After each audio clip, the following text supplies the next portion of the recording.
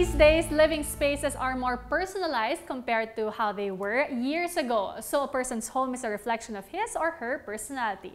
Last August, Shangri-La Plaza held an exhibit presenting a variety of home designs styled by personalities from different fields. Modern Living's in-house designer, Jie Pambid, takes us through this wonderful showcase of creativity.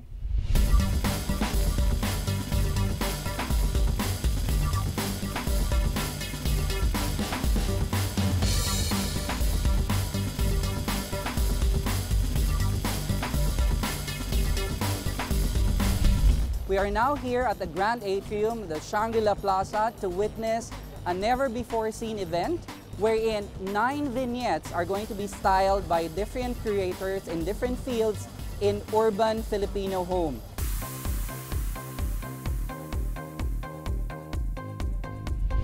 And now a very interesting twist of events in Modern Living TV. I have the honor of interviewing Steph. This is so strange. because I'm now really, the tables I'm are really turned. Thrilled. I'm really thrilled. I'm so happy you're on our team now. Thank you for welcoming me. And Steph, first question. What was your inspiration for this vignette? Okay, definitely I'm a mom of two boys, right? So definitely had to be a boys' room. And if you notice, I really chose muted colors and grown-up furniture.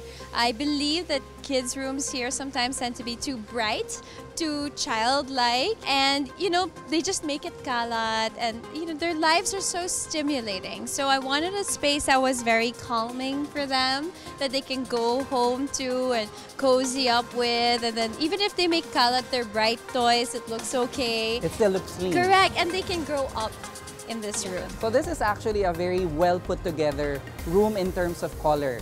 Did you really intentionally use like muted uh, tones? Their toys are already very bright, Exactly. right? So if you have a bright room plus bright toys na nakakalat and then bright books, when do you have peace of mind?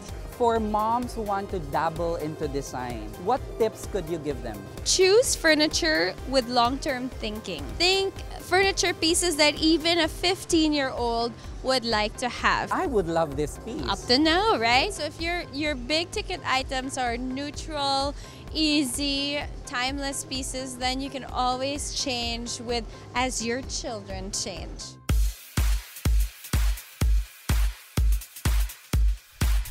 Welcome, Rajo, Thank to you. Modern Living TV. Thank you, Uh, Modern first Living up, TV. what is the space that was assigned to you? I, I ended up doing like a creative sanctuary, a place where uh, I can just shut off from the world and just relax and chill. It's very similar to what we have at home. Essentially, I love books, I love art, I love living things. Those are the three elements that sort of began the, the space. How would you define your design style in terms of like interiors? I mean, in terms of my design aesthetic, I'm always joyful.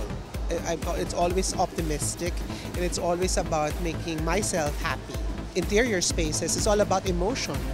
So, you know, I try to fill in my little space with the things that I personally enjoy. Essentially, I just want, I thought of a place where I can just sort of like put off my phone, close my computer, and just chill. I have this space where I can create, not thinking and worrying about the traffic, not worrying about the ills and evils of the world, and just be happy in this space. So those are the things I considered.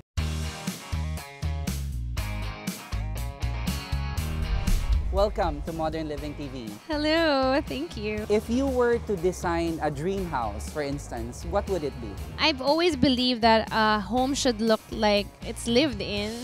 People shouldn't be afraid to dirty it, make a mess. Uh, we have a lot of games like Pickup Sticks is definitely a messy game. Uh, we have like all the board games to make sure that interaction really happens in the house. Well, how did you find the entire experience? Were you pressured? Did you I was super it? pressured because I am not like a professional in any way, and I know that my style is not classic, but people seem to like it, and I guess they appreciate that it shows like my personality, and this is exactly, you know, what what we have in our home. Well, there you have it. Thank you very much. Thank you.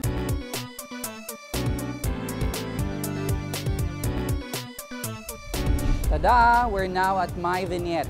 I was assigned a dining room, which was actually my favorite because it allowed me to really experiment with a lot of different things that we want to be able to put together. We wanted to be able to create something very different and unique for the dining setting. So in this particular case, I only made do with just a couple of dining chairs.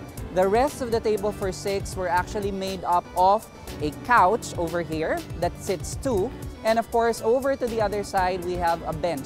In this particular case, it gives, of course, ideas on how something unique can also become something very cozy and creative. Plus, we added a little bit of class and elegance with the plates, with the silverware, and of course with the flower arrangements. This is now how nine different personalities can actually come together to design, of course, nine different vignettes only here at the Urban Filipino Home at the Grand Atrium of Shangri-La Plaza. Thank you for joining us today here at Fashion Interiors by Paul Cornelissen. And please do find time to see us again next week as we give you another exclusive tour of a beautiful celebrity home. And a one-on-one -on -one interview with the author of the moment, Kevin Kwan. Yay! That's something we definitely do not want to miss. Plus, of course, your weekly dose of home styling tips. All that and more coming your way next weekend. From living spaces to living life beyond its confines. This is your ultimate guide to modern living.